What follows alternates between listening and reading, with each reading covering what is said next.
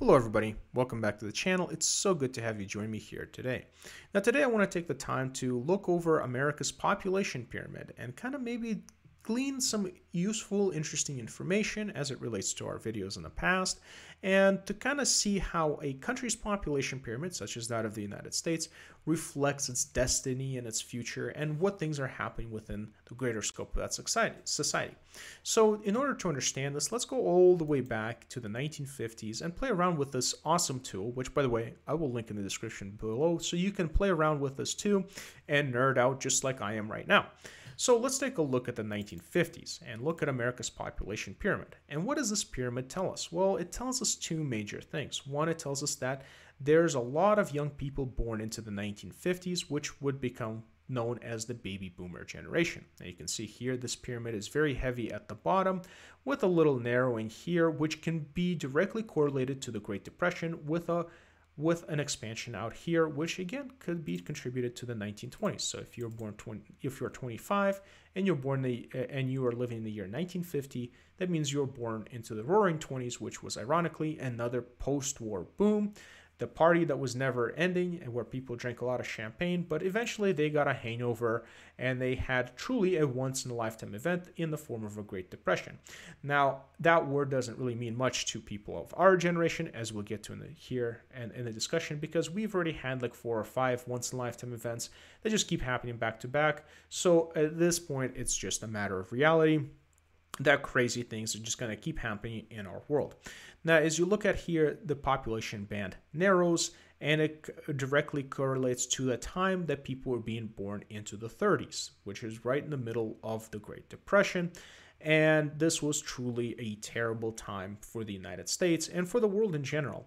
Uh, this is the time that we saw the rise of fascism in Europe, uh, economic collapse in the United States, massive unemployment, and again, uh, starvation and crop failure in a lot of parts of the planet as well.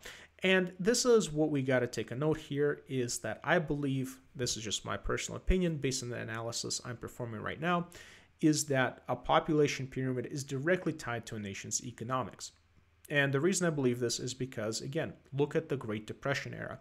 If people had the same access to resources that they did in the 1920s, or at least the belief to to that they had the kind of wealth that they did in the 1920s, then people would use that wealth to build houses, to build families, to buy goods, and then to continue improving the living conditions and having kids all at the same time that they would then be born into a society that would have a bright and positive outlook for the future. And this is what happened in the 1950s. There was a lot of money and a lot of resources and a lot of belief in the United States and you could say this was a good fuel era because the United States had come out after winning World War II, and while Europe was completely down and out and had to rebuild itself, the United States had a relatively untouched industrial sector. And at this point, it became a superpower on top of this. And this, you can see this trend continuing on for a couple of years. And I believe here, if you'll take a look at 1965, it continued all the way into the 1960s, whereas in the 1960s, early 1960s, late 1950s, there was a recession and this growth came to a slowdown. And you had a, a correlation here again where the band started to narrow. And the reason it started to narrow is because this would be the start of one, a cultural revolution where society tended to become less conservative. So people tended to want to have not not do what their parents did in the 1950s, which is like start having kids.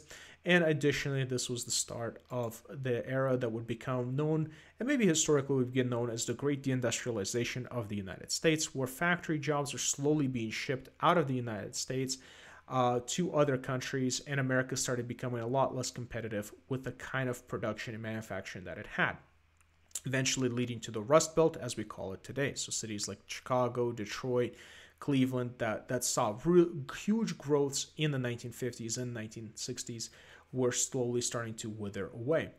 And this, again, is said that you can see a narrowing of the band here because you have a lot of folks in the 1960s and 1970s who kind of, like I said, they, they bucked the old conservative trends of their society. Um, and the population growth is still happening though here because you, you have several factors. Even though you have a narrowing of the band here, you can also say that because of things like immigration and because of a greater increase in life expectancy and improvement in healthcare, people just lived longer. So you still have people around in the society at the top levels here and higher age groups. But again, uh, we're looking at the bottom of the pyramid here. We see this narrowing happen in 1970s, 1975, and 1980. And why is that? Well, this is the stagflation era, and there was a lot of things happening at this time. In addition, you also had a major factor influencing on people's minds, and that was the Cold War. So, a major existential crisis to boot, on top of very unsustainable economic situations during this time period. And this is the period where you had pretty much the forgotten generation of American history, the Xers being born right into this era uh, who to this day have been largely forgotten, kind of left out of political power, as the boomers here, who are like then in their 20s, would have started assuming positions of political and social power, which they still hold to this day. Uh, and then you get to 1985, and this was like right around after the call back to traditionalism in the Reagan era, and conservatism becomes a major economic policy. And you started seeing a lot of deregulation in this era, which contributed to economic growth. Additionally, you saw a rise in evangelism and a callback to the traditionalism that you saw in the 1950s. So people were more inclined to have kids, uh, maybe as a view of religious duty or maybe other factors as well. But you had a growth in this period, uh, which went into the 90s. And this is where you started to see a, a new growth of a new industry in the form of the tech sector, which created new jobs, and America was the leader. And again, this was the, the tail end of the Soviet Union as well. So America was becoming the premier dominant superpower. And in the 90s, the Soviet Union did collapse. So again, the United States continued to see growth at the bottom of the pyramid, which again could be correlated to the conditions of that time. And then come around the 2000s and the first of many once in a lifetime collapses for the millennial generation.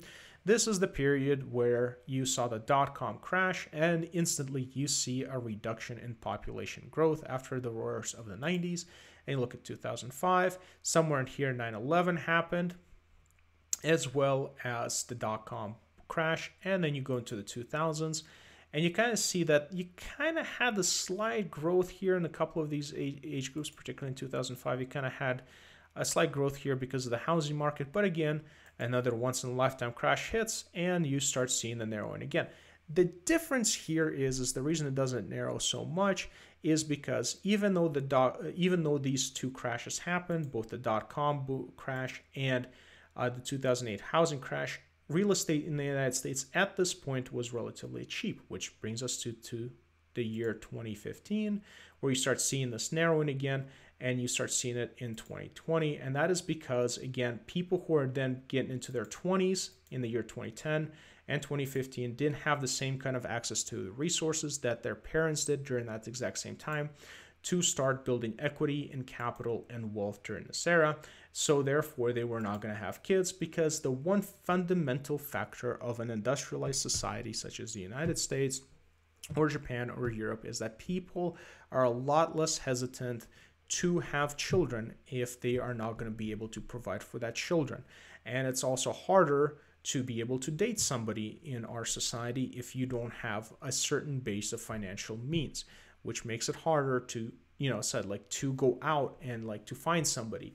If you don't have a house or you have to, or you're struggling to pay bills because you have to work two or three extra job, which doesn't leave you a whole lot of time. So this is a combination of many social and cultural and economic factors that you see here uh, kind of shows us that people are just generally in our, our category aren't have as many kids to contribute to the base of this population pyramid because they don't have as many access to the resources as people did in the 1980s with cheaper housing like in 1980s or 1950s in the post-war boom and you kind of start seeing this narrowing now this is where i diverge from the projection number. And the reason I do is because you see a relatively linear uh, situation here. The one part of this I agree with is that people at, at the age of 100 plus, apparently there's going to be almost 2 million people at this point.